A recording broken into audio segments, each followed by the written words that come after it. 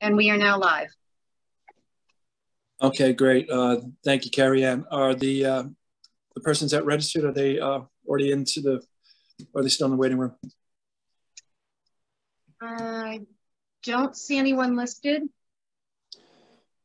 Is trying to come in. Okay, we'll give it a, I think we had put in the notice about 415, so I don't know if they're gonna, okay. Well, there's not much. We'll catch that on the, um, that'll be on our um, website anyway. The uh, meeting. Okay, all right. Well, there's nobody here, right? Nobody joined in, Carrie no, I'm not seeing anyone who's joined in. so I'm just saying because I don't want to have to do my welcome or anything. okay. Uh, all righty. Um, need to get a motion for items 5A and 5B. So moved. Okay, that was uh, Mr. Bueller, and the second is, I think, Mr. Austin, Second. correct? Okay, all righty.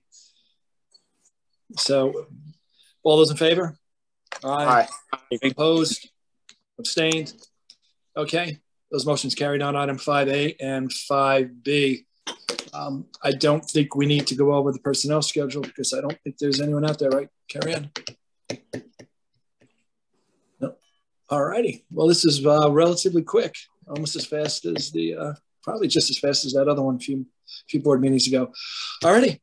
Okay, uh, motion for adjournment. So moved. Okay, second. Second. All those in favor? Aye. All right. Aye. Uh, thank you, everyone, for um, uh, making this uh, meeting. I appreciate it. Take care. Stay safe. Talk to you soon.